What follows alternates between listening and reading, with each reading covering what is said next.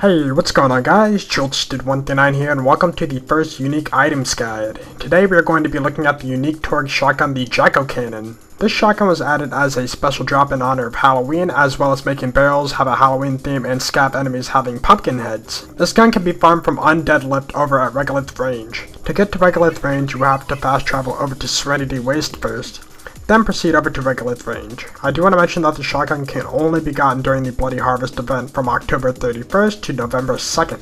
After that, it will not be obtainable anymore unless they decide to add it back in the future. I know that a lot of you guys probably missed out on this event, so I was kind enough to release a game save for you. It will consist of most prefixes of this gun at all the levels.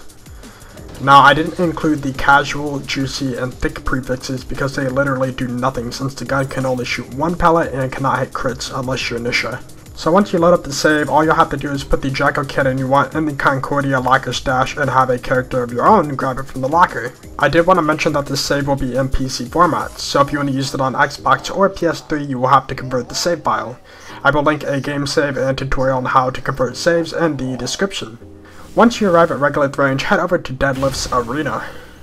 On Deadlift isn't terribly difficult, but he does backpedal and run away from you a lot. It took me 4 tries to get the shotgun to drop. The red text on the shotgun reads, Your body lies beaten, battered, and broken. That is a reference to the Headless Horseman from World of Warcraft. When you shoot this gun, you will fire a giant pumpkin that is heavily arched downwards. This gun will always be explosive element. Also, it only consumes 2 ammo per shot. Shots will also have a blast radius upon hitting an object. That means if your shot misses, the enemy can still take splash damage.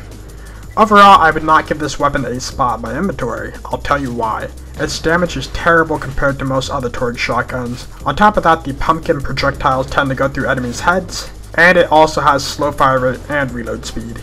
You can see here with even a perfectly spec explosive damage claptrap build, the gun performs horribly. Now this is a rare gun that will only be obtainable through the 3-day events, so I will keep it as a collectible.